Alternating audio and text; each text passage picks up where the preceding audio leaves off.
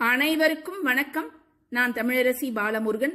இந்த பதிவில் சித்திரை மாதத்தோட வளர்பிறை அஷ்டமி அன்று நாம் வராகியை ஒரு எளிய வழிபாடு செய்வதன் மூலம் நமக்கு வரவேண்டிய பணம் நகை மற்றும் சொத்துகள் இவையெல்லாம் நம்மிடம் வந்து சேரும். நமக்கு இருக்கக்கூடிய முக்கியமான பிரச்சனைகளுள் ஒன்றான அந்த கடன் பிரச்சனை என்பது தீரும். அந்த வழிபாடு எப்படி செய்யணும்னு தான் நான் உங்ககிட்ட இப்போ பகிர்ந்துக்க போறேன்.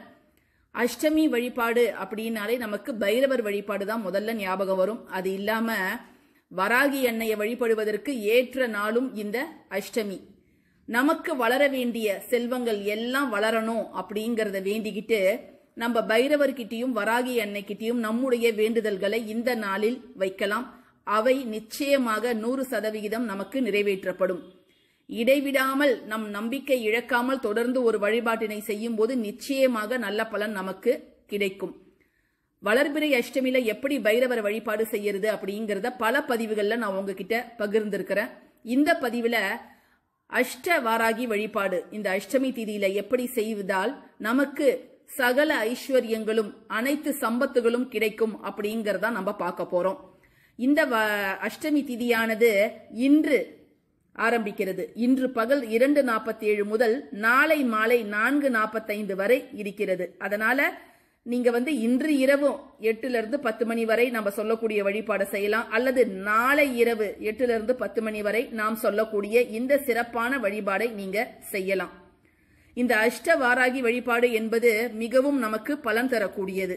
ஏன்னா என்னென்ன வாராகி இருக்கிறாங்க அப்படின்னு பார்த்தோம்னா மகா வாராகி ஆதி வாராகி உன்மத்த வாராகி சொப்ன வாராகி லகு வாராகி சிம்ஹாருட வாராகி மகிஷாசுருட வாராகி அச்வாருட வாராகி இந்த எட்டு வாராகிகளை நம்ம ஒரு சேர வழிபாடு செய்யும் போது அந்த எட்டு வாராகிகளோட கருணையும் அவங்களுடைய அருளும் நமக்கு பரிபூரணமாக கிடைக்கும்.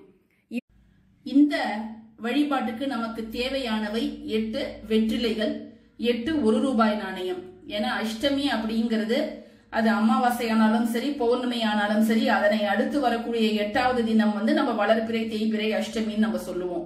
அந்த எட்டு அப்படிங்கிற ஒரு எண்ணுக்கு பெரிய மகத்துவமே இருக்கு.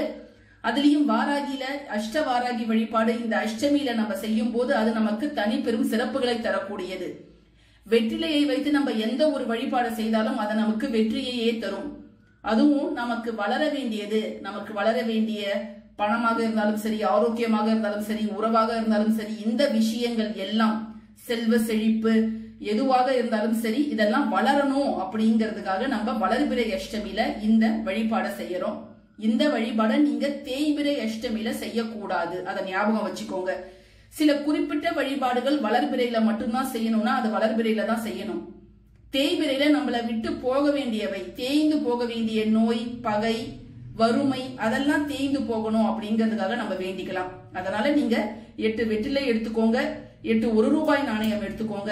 அதுக்கப்புறம் எட்டு அகல் தீபமும் எடுத்துக்கோங்க. இப்போ நான் இத மாதிரி ஒரு மனையை எடுத்திருக்கிறேன். சின்னதா ஒரு மனை. அது முழுவதும் நீங்க மஞ்சள் பூசிடுங்க.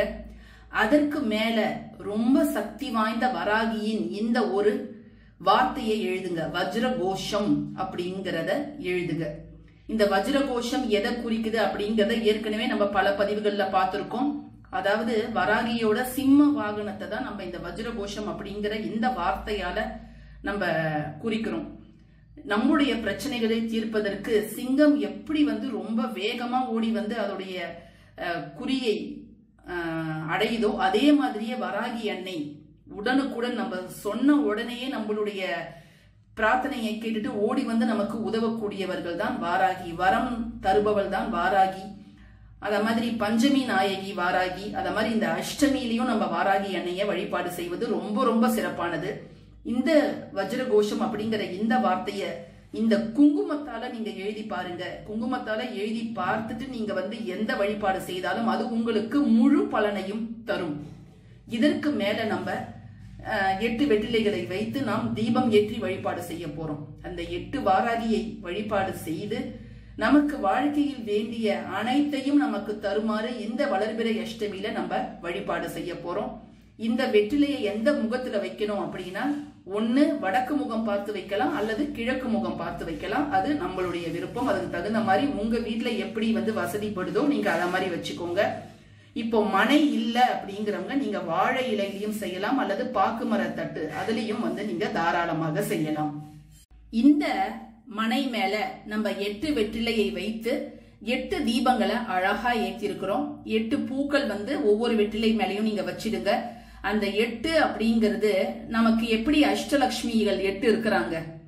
தனம் தானியம் விஜயலட்சுமி சந்தானலட்சுமி வித்யாலட்சுமி அத மாதிரி எட்டு செல்வங்கள் நமக்கு வந்து சேரணும் நம்ம வேண்டிக்கிறோம். அஷ்டலட்சுமி வழிபாடு செய்யறோம் அதே மாதிரியே தான் வளர்ப்பிறை அஷ்டமியில நம்ம அஷ்ட வாராகி வழிபாடு செய்யும் போது நிச்சயமாக இந்த கலிகாலத்துல நம்ம ஃபேஸ் பண்ணிட்டு இருக்கிற அத்தனை பிரச்சனைகளையும் தீர்த்து நமக்கு வந்து ஒரு நல்ல வழியை நம்மளுடைய தாய் வாராகி காமிப்பாங்க.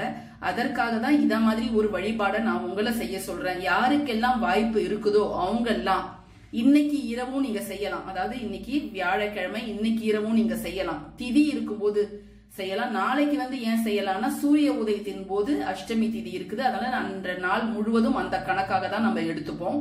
இரவு எட்டுல இருந்து பத்து மணிக்குள்ளார நீங்க செய்வது அப்படிங்கிறது ரொம்ப ரொம்ப நல்லது. இத மாதிரி நீங்க ஏத்தி வச்சுட்டு அந்த எட்டு ஒரு ரூபாய் நாணயம் நான் சொன்னேன் இல்லையா? அந்த எட்டு ஒரு ரூபாய் நாணயத்தையும் நீங்க ஒவ்வொரு வாராகி அன்னையின் பெயரை சொல்லி ஒவ்வொரு வெற்றிலையும் நீங்க வைப்பது அப்படிங்கிறது நல்லது. இப்ப எட்டு ஒரு ரூபாய் நாணயத்தையும் நம்ம எடுத்துட்டோம். நீங்க ஒவ்வொரு வெற்றிலை கிட்டையும் ஓம் மகா வாராகியே நமக. ஓம் ஆதி வாராகியே நமக. ஓம் உன்மத்த வாராகியே நமக. ஓம் லகு வாராகியே நமக. ஓம் அச்வாருடவாராகியே நமக. ஓம் மகிஷாருட வாராகியே நமக. அப்படின்னு நீங்க ஒன்னு ஒன்னுத்துக்கும் ஒவ்வொரு காசை வந்து வையுங்க. வச்சுட்டு நீங்க மனமாற வேண்டிக்கோங்க. எனக்கு எந்த நல்லதெல்லாம் எனக்கு வரணும்னு நீங்க நினைக்கிறீங்களோ அதெல்லாம் என்கிட்ட நீங்க கொடுங்க அப்படின்னு நீங்க மனமாற வேண்டிக்கோங்க. நேவேதியமா உங்களால என்ன முடியுதோ ஒரு கேரட் வீட்டில் இருக்கக்கூடிய ஒரு கேரட் வைக்கலாம். இல்ல உருளைக்கிழங்கு நீங்க அப்படியே பச்சையா கூட வைக்கலாம். சக்கரவள்ளி கிழங்கு மரவள்ளி கிழங்கு ஏதாவது உணத்தை வைத்து நீங்க வாராகிய வழிபாடு செய்யுங்க. அன்றைய தினம் இரவு முழுவதும் அது அப்படியே இருக்கட்டும். இன்னைக்கு இரவு செய்தீங்கன்னா இன்னைக்கு முழுவதும் அது அப்படியே இருக்கட்டும். நாளைக்கு செய்வது அப்படிங்கிறது நல்லது. ஏன் அப்படின்னா வெள்ளிக்கிழமையோடு சேர்ந்து வரக்கூடிய வளர்பிறை அஷ்டமியில நம்ம இதை செய்யறது அப்படிங்கிறது ரொம்ப ரொம்ப நல்லது. அதனால நீங்க நாளைக்கு செய்வது ரொம்ப சிறப்பானது. நாளை இரவு அப்படியே இருக்கட்டும். சனிக்கிழமை காலையில இந்த வெற்றிலை எல்லாம் எடுத்து நீங்க ஆடு மாடுகளுக்கு போடலாம். நம்ம முதல்ல க- அப்படிங்கிறது நல்லது. எட்டு வெற்றிலையும் எங்கள் வீட்டில் செலவாகாது அப்படிங்கிறவங்க நீங்கள் ஆடு மாடுகளுக்கு போட்டுடுங்க. இல்லை எதுவுமே எங்கள் வீட்டுக்கிட்ட இல்லைன்னா கால்படாத இடத்துல இந்த வெற்றிலையை போட்டுடுங்க. இந்த ஒரு ரூபாய் நாணயத்தை எப்ப நீங்க அடுத்த முறை அருகில் இருக்கக்கூடிய அம்மன் கோவிலுக்கு போறீங்களோ அந்த உண்டியல்ல வாராகி எண்ணெய்க்கு நன்றி தெரிவிக்கும் விதமாக இதை நீங்க போட்டுடுங்க. இத மாதிரி ஒவ்வொரு வளர்பிறை அஷ்டமியிலையும் நீங்க தவறாம இதை செஞ்சுக்கிட்டு வாங்க. பூக்களையும் நீங்க கால் மீதி படாத இடத்துல போட்டுடலாம். அகல் தீபத்தெல்லாம் க்ளீன் பண்ணிட்டு அடுத்ததுக்கு எதுக்காவது நீங்க யூஸ் பண்ண பயன்படுத்திக்கலாம். இது ரொம்ப சக்தி வாய்ந்த வழிபாடு அஷ்டவாராகி வழிபாடு. இதை நீங்க செஞ்சு பாருங்க. நல்ல பலன் உங்களுக்கு கிடைக்கும். இந்த பதிவு பிடிச்சிருந்ததுன்னா கட்டாயமா லைக் பண்ணுங்க ஷேர் பண்ணுங்க. நம்ம சேனலுக்கு சப்ஸ்கிரைப் பண்ணுங்க. தேங்க்யூ ஃபார் வாட்சிங் திஸ் வீடியோ நன்றி.